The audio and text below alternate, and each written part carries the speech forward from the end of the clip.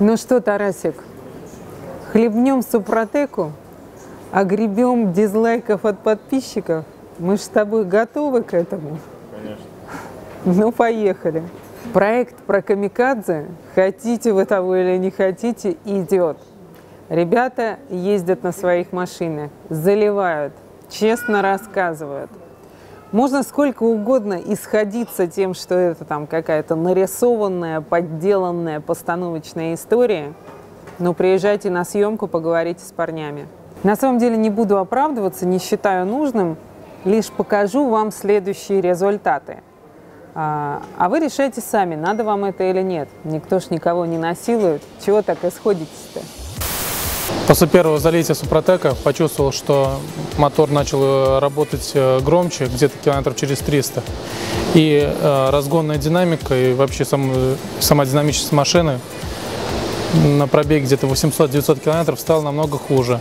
Как бы не знаю, может это из этой присадки или же некачественного бензина, но ощущение заметно.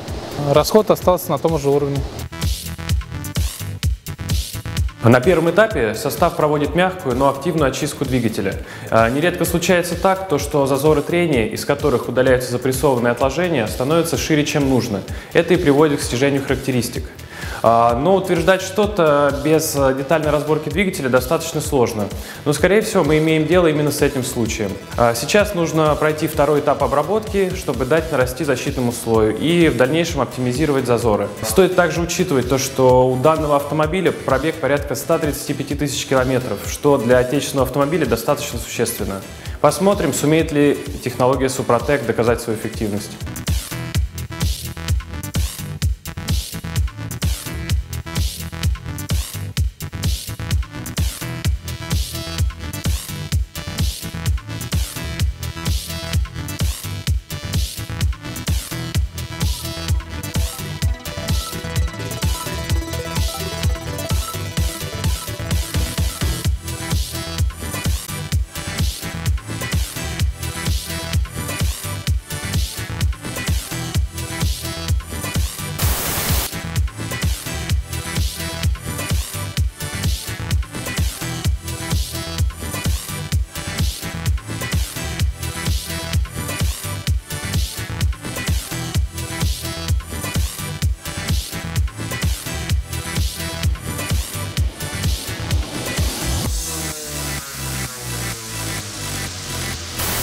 После первого залития Супротек э, расход топлива уменьшился где-то на 0,5 литра. Э, в принципе, изменений больше не заметил. Сейчас залили Супротек второй раз. Посмотрим, что будет дальше.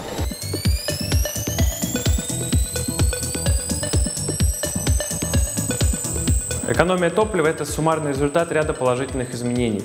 Это означает, что на поверхностях трения идет активное формирование защитного слоя. Данный слой оптимизирует зазоры в цилиндропоршневой группе, что и улучшает качество сгорания топлива. Кроме того, этот слой снижает трение за счет удержания более плотной масляной пленки. Двигателю становится легче крутиться, а значит и требуется меньше топлива.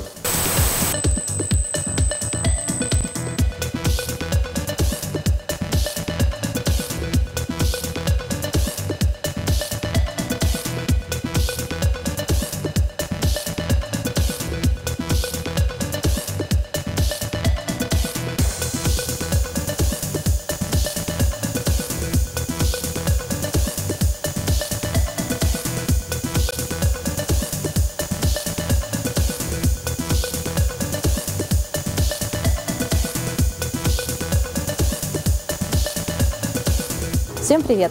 А, а, в общем, после первой стадии заливки супротеком а, мы отъездили где-то около тысячи километров.